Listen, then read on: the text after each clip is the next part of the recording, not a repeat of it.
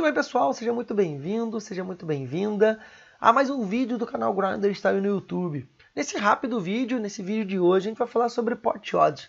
Na verdade, a gente vai falar sobre a parte prática da pot odds. Como você aplica a fórmula da pot odds no teu jogo e calcula pot odds rapidamente, sem maiores complicações. Se você ainda não é inscrito no canal aqui, Grinder Style no YouTube, na Escola de Poker Grinder Style do YouTube, se inscreve aqui embaixo do vídeo agora para você não perder nenhum dos nossos próximos conteúdos. E não esquece de ativar o sininho ali para você receber todas as notificações. No próximo vídeo, a gente pretende gravar Uh, quando você tem que pensar a pot odds, quando utilizar a pot odds, quando calcular a pot odds, se é durante o jogo, se não é durante o jogo, né? Vamos refletir sobre a pot odds e sobre vários outros conceitos da matemática do poker. Para te gravar esse vídeo, deixa teu like aqui embaixo que a gente vai entender que você quer mais conteúdo sobre a matemática do poker e não deixe também de deixar o teu comentário. Posta aqui embaixo o que você quer ver mais, o que você quer ouvir, o que você quer aprender e ajuda a gente a gerar mais conteúdo para te ajudar ainda mais a alavancar o teu jogo.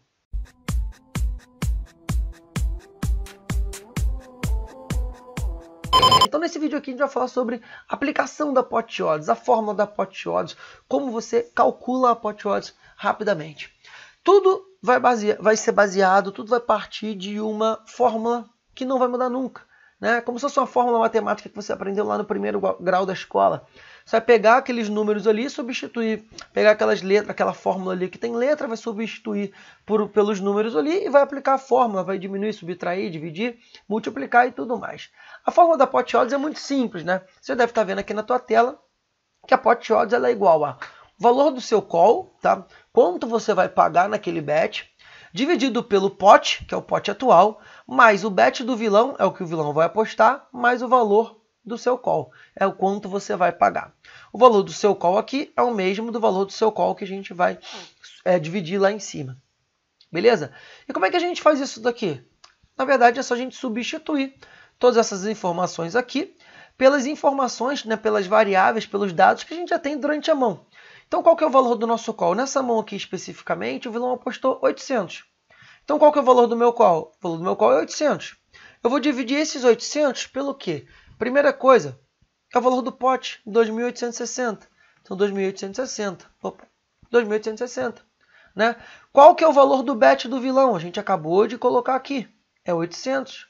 Então, vou dividir 800, que é o valor do meu call, é, dividido pelo 2.860 mais 800, que é o valor do bet do vilão, mais o quê? Mais o valor do nosso call, que é a mesma coisa que está aqui em cima. Mais 800. Um erro que muita gente comete, que muitos jogadores iniciantes cometem, é não incluir o valor do próprio call nessa conta. E aí você vai ter um cálculo completamente errado, vai ter um resultado absolutamente diferente daquele que realmente deveria ser. Na prática aqui, né, se a gente for realizar esse, esse cálculo aqui, vai ficar muito simples. Então a gente vai somar 2.860 mais 1.600, certo? Que é 800 aqui, mais 800 aqui, tudo vai dar 4.460. 4.460. Como é que a gente descobre a nossa pot odds, então? A gente tem que dividir 8, 800 dividido por 4.460. Qual foi o resultado disso daqui? 0.1793772. Não interessa muito pra gente todas essas casas decimais aqui. Se a gente multiplicar por 6, a gente tem o percentual disso daqui, que foi de 17,9%. Né? Tá aqui, ó, em tempo real aqui praticamente pra gente. 17,9%, que é o mesmo valor que a gente encontrou aqui, ó, 17,9%. Então, exatamente desse jeito que a gente calcula a nossa pot odds. Beleza? Se você gostou de aprender aqui a calcular pot odds de uma maneira muito simples, muito fácil, sem maiores complicações, deixa o teu like aqui embaixo do vídeo, se inscreve no canal, ativa o sininho ali para você ficar por dentro de todas as novidades, de todos os nossos conteúdos. No próximo vídeo, num próximo vídeo, a gente vai gravar também é, e falar sobre como você aplica pot odds, quando você pensa pot odds, como você estuda pot odds e todos os outros conceitos matemáticos do poker.